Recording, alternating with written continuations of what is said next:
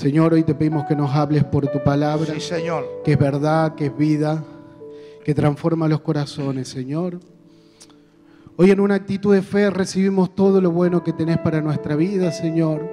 En el nombre de Jesús, todo espino, toda piedra, toda poca profundidad y toda ave del cielo que venga a quitarnos lo que tú tienes para nuestra vida, sea rechazado en el nombre de Jesús. Amén. Señor. Amén. Sí, Señor. Hoy en una actitud de fe declaramos que somos buena tierra para recibir tu palabra en el nombre de Cristo Jesús, el Señor. Amén y amén. ¿Te parece que das un aplauso fuerte al Señor? Aleluya. Le puse por título a este mensaje, ¿por qué llevas esa carga? Génesis capítulo 22, versículo número 6, dice la palabra del Señor de la siguiente manera. Génesis capítulo 22, versículo número 6. Le animo a que tome nota y después usted en su casa revisa la palabra y va a ser bendecido nuevamente y es tan lindo ser confrontado con la palabra. Dice así, Génesis 22, 6, y tomó Abraham la leña del holocausto y la puso sobre Isaac, su hijo. Y él tomó en su mano el fuego y el cuchillo y fueron ambos juntos. Este capítulo, perdón, este versículo, nos cuenta un poquito acerca del camino que recorrió Abraham y su hijo Isaac. En ese recorrido que tenían que ir para cumplir lo que Dios le había pedido, que era el sacrificio. Y la leña se puso sobre los hombros de Isaac.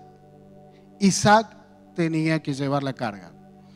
Esta historia nos habla y nos cuenta gritos acerca de Jesucristo. Todo es muy simbólico y todo habla del Señor Jesús. Así como el Señor llevó el madero sobre sí, Isaac llevó la carga. Yo quiero hablarte un poco de eso, acerca de las cargas, porque forma parte de nuestro lenguaje. Ya sea el lenguaje que decimos, vos me estás cargando a mí, que nos gusta por ahí charlar a alguien, a un ser querido, por el fútbol, por esto, dice, te está cargando.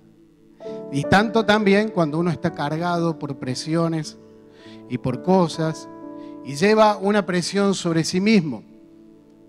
Nosotros en el lenguaje evangélico decimos llevar la carga, para referirnos como una asignación que recibimos de parte de Dios. El que tiene un llamado para las misiones seguramente ha usado la expresión siento la carga por tal o cual lugar.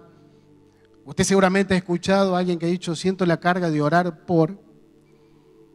Y las cargas forman parte de nuestra vida. Y a Isaac, su papá, el padre, le pone una carga encima. El hijo soporta también una promesa. Llevar una promesa también implica una carga. Una herencia también implica una carga. Si no hay carga, no hay herencia. Y sin herencia, no hay carga. Todos llevamos una carga en la vida. Todos y cada uno de nosotros llevamos una carga. Léelo en tu casa, Gálatas capítulo 6, versículo número 5. Dice que cada uno tiene que llevar su carga. El versículo anterior nos habla acerca de no compararse con los demás, que cada uno tiene una carga para llevar. O sea, todos y cada uno de nosotros llevamos algún tipo de carga sobre nuestra vida. Pero no todas las cargas han sido colocadas por el Padre. Hay cargas que tienen que ver con la manipulación, con ataduras espirituales, con presiones, las consecuencias de errores del ayer. La palabra del Señor fue escrita durante varios siglos, pero la forma de transporte de la carga fue casi la misma siempre. La carga se llevaba sobre los hombros. Y en la Biblia habla sobre esclavitud, por ejemplo, el llevar una carga. Cuando lo llevaron, por ejemplo, al pueblo de Dios en cautividad, algunos lo llevaban con un, con un yugo. Y estaba muy presente en la imagen de la gente el buey llevando un yugo que tiraba de una carga. La carga del labrador que iba abriendo la tierra. La carga tenía que ser balanceada. Jamás se debía colocar una mayor carga a la que el animal pudiera soportar.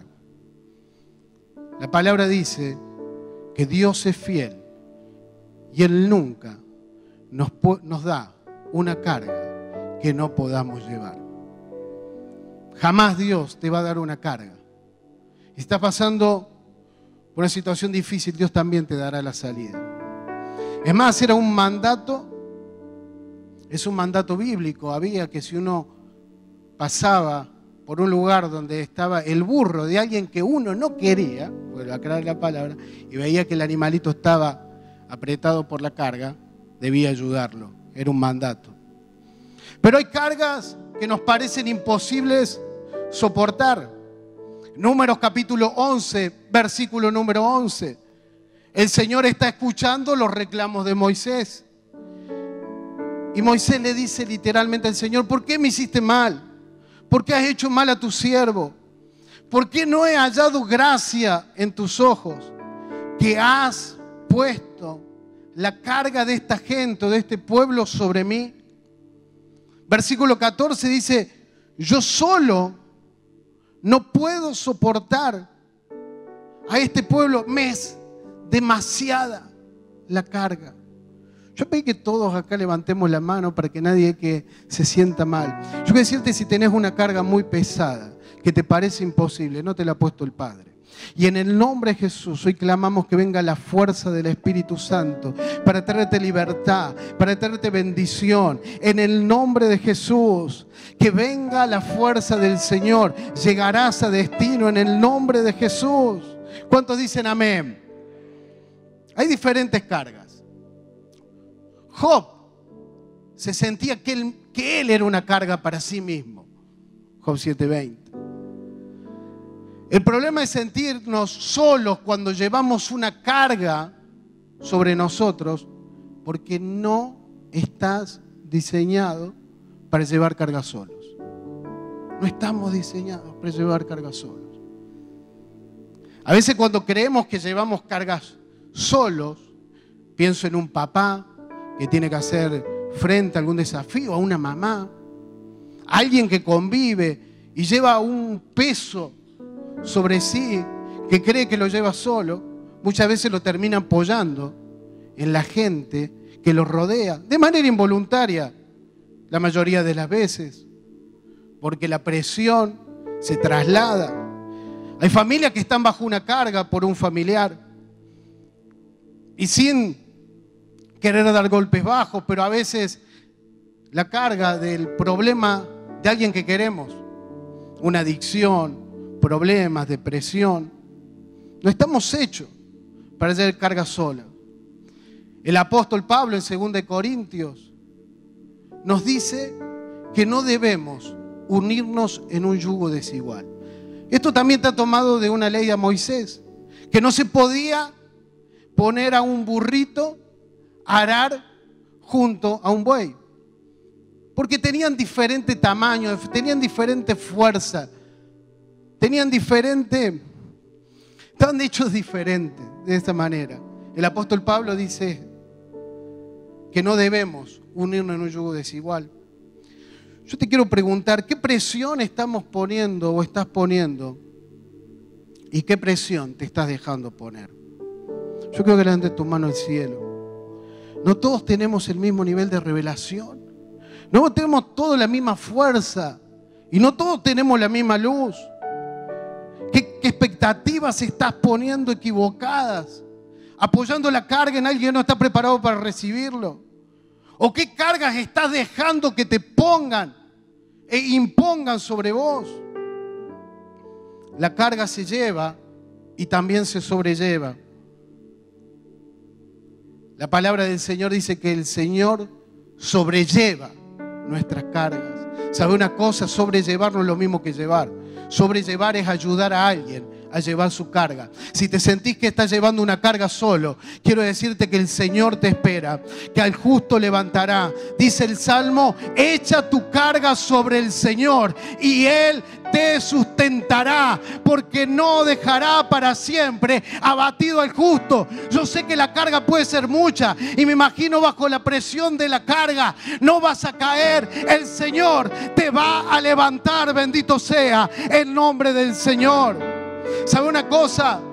No podemos vivir siendo arrastrados por la carga de alguien más. No se puede vivir siendo arrastrado. Ni tampoco se puede vivir arrastrando a alguien más. Hablando de las cargas, el sistema de vida hoy. En Éxodo, en el capítulo número 1, versículo número 11, nos cuenta que Faraón molestaba a su pueblo con cargas muy pesadas y bajo la carga mientras construían literalmente ciudades. El sistema lo premia, le ponía cargas.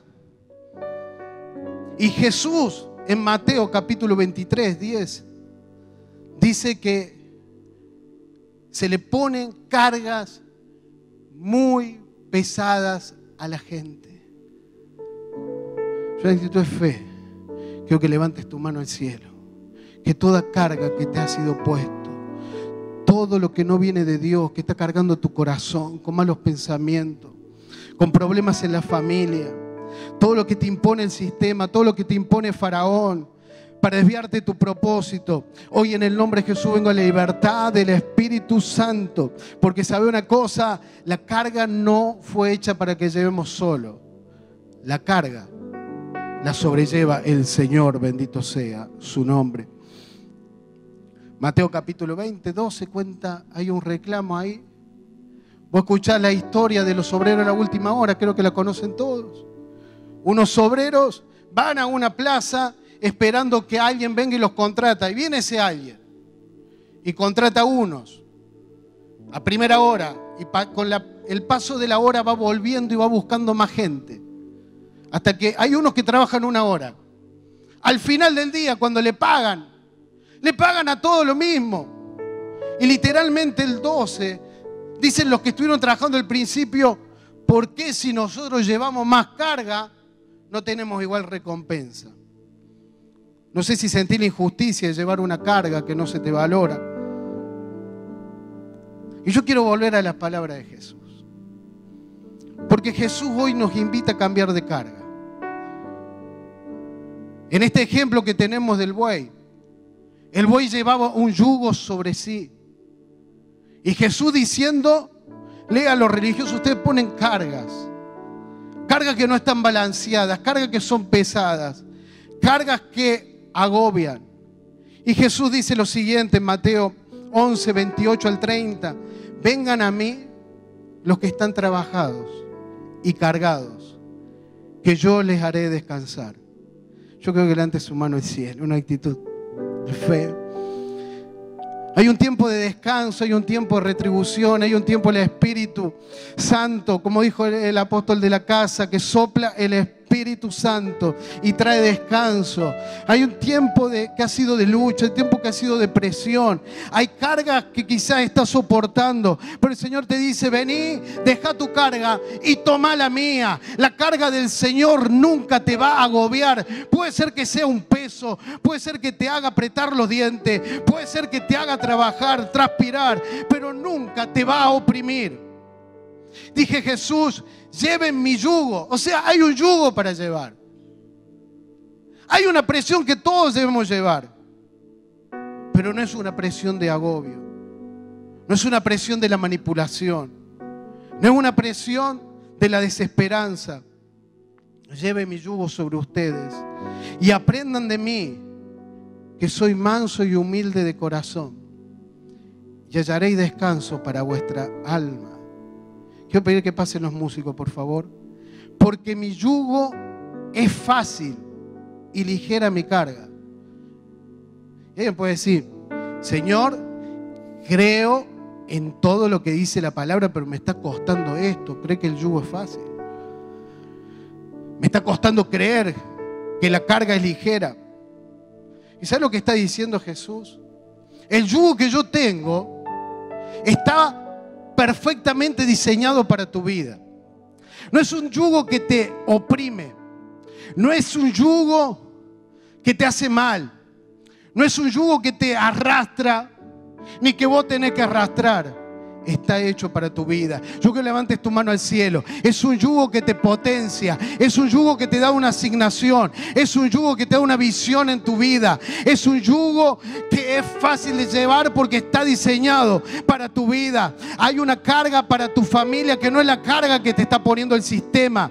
Que no, te está, no es la que te pone el enemigo. No es el miedo, no es el temor. Hoy con una actitud de fe, yo te estoy hablando de que hay una carga. Pero también tengo que decirte que tendrás victoria en el nombre de Jesús. Mira, yo te empecé hablando de que a Isaac, el hijo, el padre le puso una carga, pero ante la pregunta del hijo de qué pasará, que no había, que no había víctima, que quién iba a ser crucificado o ofrendado. El Padre le dijo, yo me voy a proveer. El Padre proveerá, el Señor se proveerá. ¿Sabe una cosa? Es, es pesada la carga. Jesús en su camino a la cruz del Calvario tuvo que tener la ayuda de un hombre, un peregrino del norte de África, llamado Simón de Sirene. Él le ayudó a llevar la carga al Señor.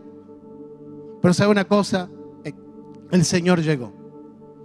Y quiero soltar esta palabra sobre tu vida, que vas a llegar en el nombre de Jesús y que vendrá ayuda del cielo, vendrá la potencia del Espíritu Santo, que el Padre va a proveer, que el Padre va a proveer, va a proveer porque la carga que Él te pone, el mayor interesado es Él. Tu carga es tu familia, Dios te dio esa carga. Carga es servirle, Dios te dio esa carga. Tu carga es un sueño en Dios, Dios te dio esa carga y Dios se proveerá. Bendito sea el nombre del Señor. Aleluya. Como Isaac, el Padre te pone una carga, pero Él provee el cordero. Que te pongas de pie, que levantes tu mano al cielo. Toma la carga que Dios te ha dado y deja las otras. Yo sé que cuesta. ¿Quién quiere entregar lo que le costó sacrificio? Pero la carga es liviana. ¿Qué te pesa más lo que te hicieron o la marca que te quedó de lo que te hicieron, por ejemplo? Jesús hablando acerca de tomar la mano en el arado, de llevar esa carga, decía que no se puede mirar para atrás. Mira hacia adelante en el nombre de Jesús. No tengas duda, porque si miramos para atrás, nos sale torcido el surco. Vamos a mirar adelante. La vista siempre en Jesús, despojándonos de toda carga en palabra del apóstol.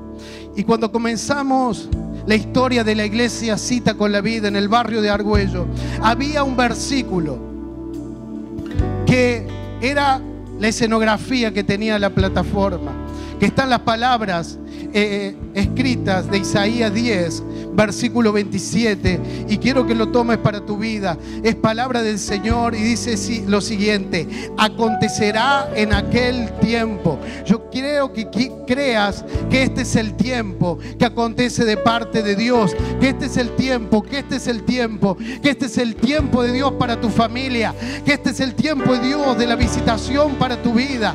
En el nombre de Jesús, que su carga será quitada de tu hombro. Va a ser quitada la carga de la opresión, la carga de Faraón, la carga del miedo, la carga sobre el futuro, la carga incorrecta que sentí sobre la familia. Ten fe que tus hijos son de Dios, que tu familia es de Dios. En el nombre de Jesús el yugo va a ser descargado de tus hombros. En la labranza como se hacía, el yugo descansaba sobre el lomo del animal, sobre la cerviz donde tiene él grasa, donde tiene sebo. Si vos lo lees en la versión NBI, vas a ver que dice, a causa de la gordura. ¿Sabes por qué? Porque el animal iba trabajando bajo los rayos del sol y arrastraba la carga. Y a medida que hacía fuerza, a medida que trabajaba, el aceite, el cebo empezaba a fluir. Empezaba a impregnarse el yugo. Hoy en el nombre de Jesús declaramos, ha estado trabajando bajo la presión, bajo la lucha. Hay distintas cargas que se te han dado, diferentes cargas que has llevado en este tiempo. Quizá hoy sea la primera vez que venís a la iglesia o quizá venía hace años. Y sabes de lo que te hablo, es llevar una carga, una presión sobre tu vida.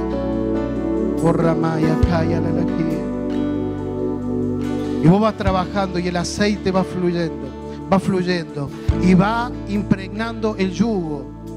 Y la palabra es que el yugo se pudre a causa de la unción. El yugo se pudre a causa de la unción. No es algo que pasa de un día para otro. Es un proceso. Es una unción acumulativa. Yo quiero que levantes tu mano al cielo y le creas al Señor por una visitación del Espíritu Santo que viene para romper toda carga que el enemigo te ha puesto. Toda presión. Fluye Espíritu Santo. Fluye la unción. Empieza a fluir. Lo que creía que te estaba oprimiendo está sacando la unción dentro tuyo. Iglesia cita con la vida. Vamos a creerle a Dios. Este es el tiempo en que la carga es quitada. Señor, te entregamos nuestra carga. Te entregamos lo que nos oprime. Entregamos nuestras preocupaciones.